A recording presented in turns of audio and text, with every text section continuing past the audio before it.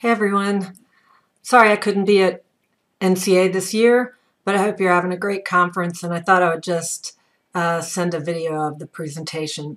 Um, so this, this, these thoughts uh, are written also with Carlina Di Russo. She's a doctoral student at Penn State. So basically, I'm interested in the boundary conditions of research on inspiring media.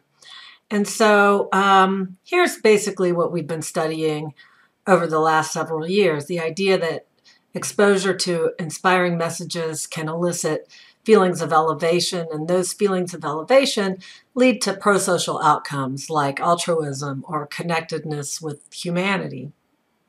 Um, what I want to do here is to try to problematize this general model and so share with you some thoughts that uh, I've been I've been dwelling on quite a bit lately, and so how I would like to proceed with some research in this area. So one question is who's seeing inspiring messages? And usually we're doing experimental work, so we randomly assign people to that. Um, but of course, outside the lab, that's not really so much the case. So when you look at the kind of predictors of who's selecting to view inspiring media, you see things like empathic traits or tendency to be engaged with moral beauty. And so what this means is that one question that I think we need to be thinking about is, are we really just preaching to the choir when we're studying inspiring media? Who's watching it out there in the real world, so to say? Related to this is even if someone is exposed to a media message, either willingly or unwillingly in the lab, does that always lead to um, feeling inspired or does it lead to affective uh, elevation?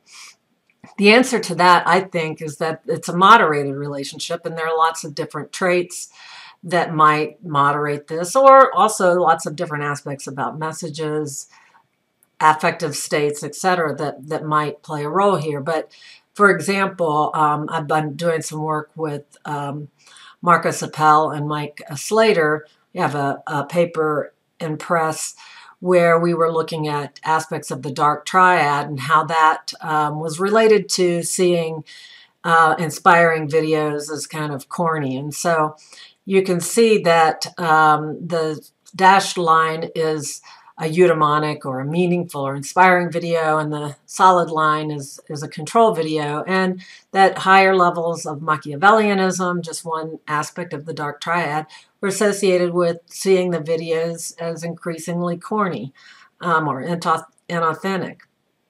Um, I I've been particularly interested lately in looking at additional moderators here, and the one I've been interested in thinking about is uh, political ideology. Um, so I'll give you an example of what I, what I mean by this. So a lot of you might have seen uh, Beto O'Rourke, who was asked a question during one of his talks about how he felt uh, about the uh, players in the NFL taking a knee.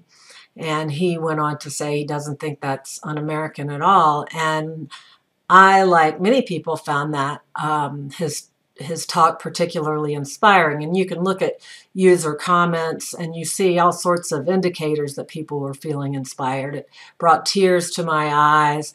My eyes watered so bad. This is incredible. Wow, inspiration. But if you look at additional comments, as you can imagine, there were people who really didn't find it so inspiring. That saying he, this is after this election, you can take a knee you open border wanker. Um, you can start campaigning in, in, in Venezuela now.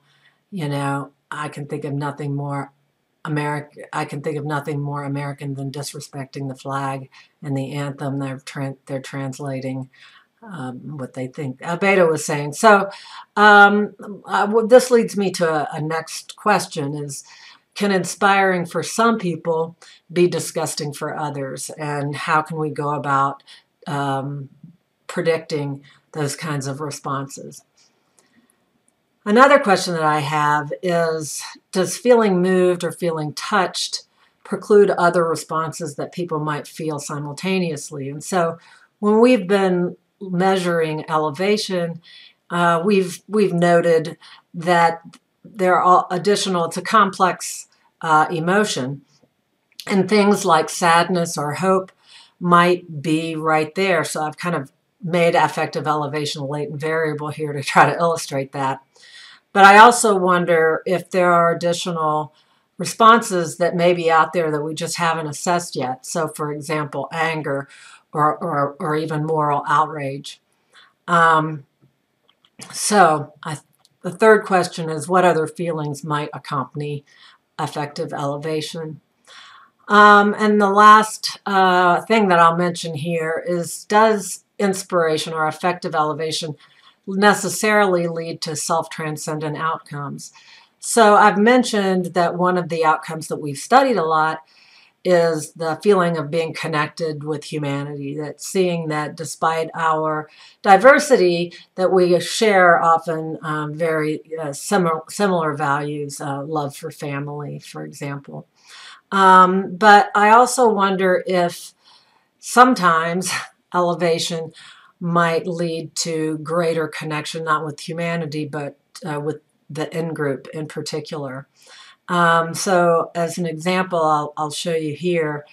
This was a, a, a, video that got a whole lot of play about a year ago, and it was this um, this team. I believe they were in Georgia football team, and they ran onto the field, and they were all um, carrying the American flag.